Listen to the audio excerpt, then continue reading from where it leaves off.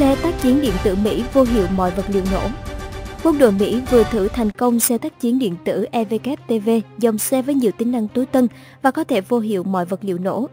Theo The Drive, vào đầu tháng 9 năm nay thì quân đội Mỹ sẽ tiếp nhận một số xe cơ giới bọc thép trang bị phương tiện tác chiến điện tử chiến thuật EVKTV được sử dụng để thử nghiệm các chiến thuật mới. Khi hoàn thành thử nghiệm, ngoài việc dùng trong nước, Mỹ có thể triển khai ra nước ngoài nếu cảm thấy cần thiết. Các quan chức của lực lượng triển khai nhanh REF cho biết nhà thầu chính của thiết bị tác chiến điện tử EVK là công ty SRC Inc.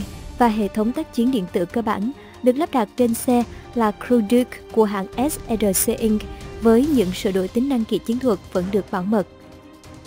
Vậy bộ khí tài tác chiến điện tử Duke là gì? Bộ khí tài này là một trang thiết bị gây nhiễu tầm ngắn, công suất thấp, vô hiệu hóa bằng gây nhiễu kích nổ bom mìn vệ đường của các nhóm du kích khủng bố được điều khiển bằng sóng vô tuyến các phương tiện thông tin điện tử mobile phone.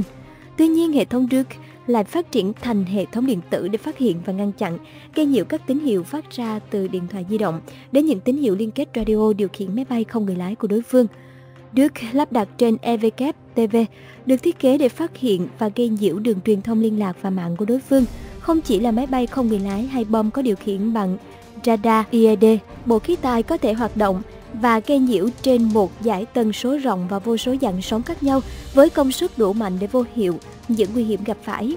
Hệ thống Dirk có thể phát hiện và phân tích tín hiệu tần số vô tuyến truyền thông liên lạc hoặc điều khiển, phát tín hiệu RF phá vỡ thông tin liên lạc và nghi binh đánh lừa địch, tấn công điện tử, EA vân vân. Tính năng đặc biệt ở hệ thống Crew Duke trong tác chiến điện tử EVK là việc chuyển từ việc thu thập thông tin thụ động đến hoạt động gây nhiễu truyền các tín hiệu giả gây rối loạn cảm biến điện tử của kẻ thù, định vị vị trí nguồn phát tín hiệu. Đài phát vô tuyến radar cung cấp tọa độ cho các cuộc tấn công bằng không quân hoặc pháo binh.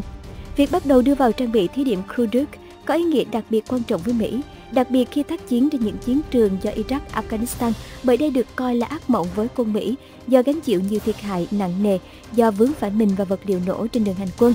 Bộ Quốc phòng Mỹ cho rằng những thiệt hại đáng tiếc tương tự sẽ không xảy ra nữa khi hệ thống Crew Duke chính thức được trang bị không chỉ với các đơn vị trong nước mà cả với nước ngoài. Nếu như các bạn thấy những bản tin quân sự hay và hấp dẫn, thì hãy ủng hộ chúng tôi bằng cách ấn đăng ký theo dõi. Việc đăng ký trên hoàn toàn miễn phí. Video này hãy like và chia sẻ cho bạn bè của mình. Hãy cho chúng tôi biết suy nghĩ của bạn bằng cách comment ở bên dưới. Xin chân thành cảm ơn quý vị và các bạn đã ủng hộ. Xin chào và hẹn gặp lại.